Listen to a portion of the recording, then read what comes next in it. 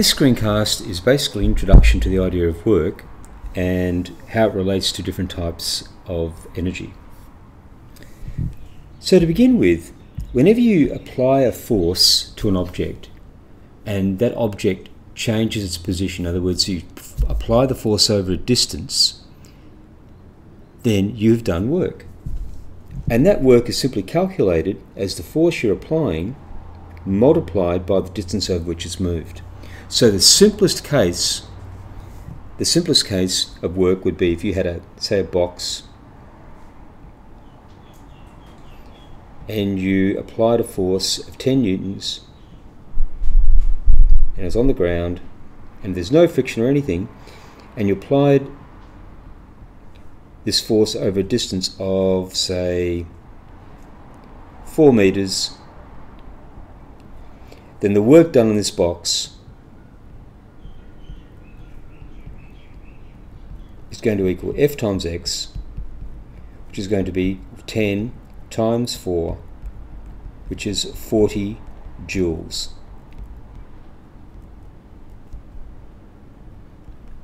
so 40 joules of work has been done on this box. Now in this first scenario, let's assume there's actually no friction or resistance at all. So if there's no friction, then all of the work done, all of the work done is simply going towards moving the object. So we're talking about this first blue scenario here.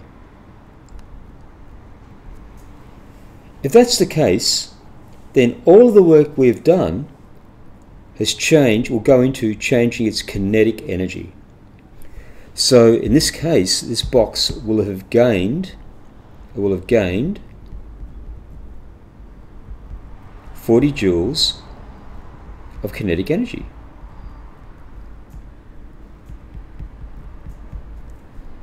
Okay, that's pretty easy, isn't it? Now, it becomes a bit more interesting if other things start happening and we, we change our, our scenario. So let's say then we'll change our scenario. Let's say now we're lifting a, box. Oops, sorry about that. We're lifting a box above the ground. So I've got a box and we're actually lifting it. So the box is originally on the ground here and we're lifting it to a height of 3 meters.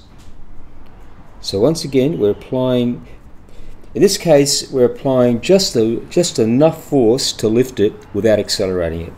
So it'd be the minimum force we need to lift it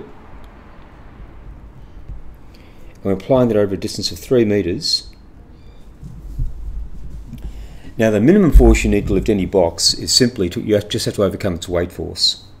And so this box was a, um, let's say it's 5 kilograms. It's a 5 kilogram box.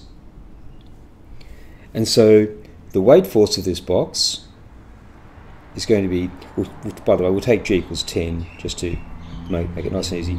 So the weight force is going to equal 50 newtons. And so the minimum force you need to lift it will be 50 newtons. You just got to overcome that weight force.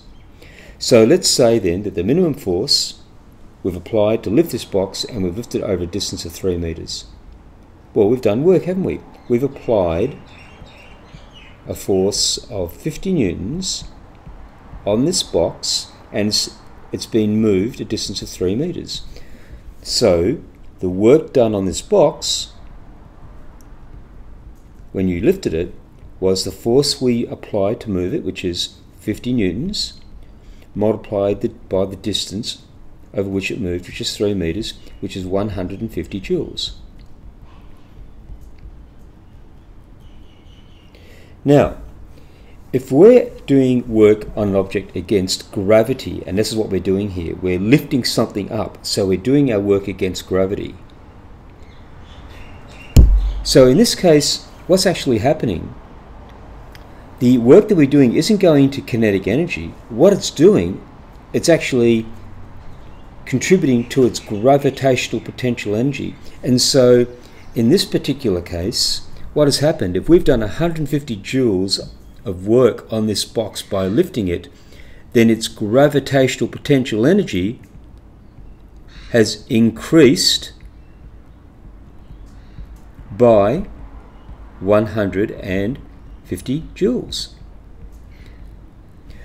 So when you do work against gravity, it contributes to its change in gravitational potential energy. Remember when we, when we did work on an object where there's no gravity or no friction or anything, it goes towards its kinetic energy. Okay, just two other quick examples, or two other quick scenarios we want to look at.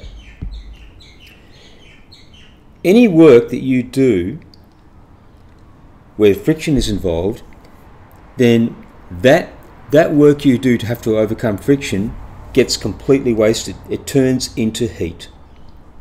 So any work done where friction is involved, then the amount of work that is done against friction gets converted into heat.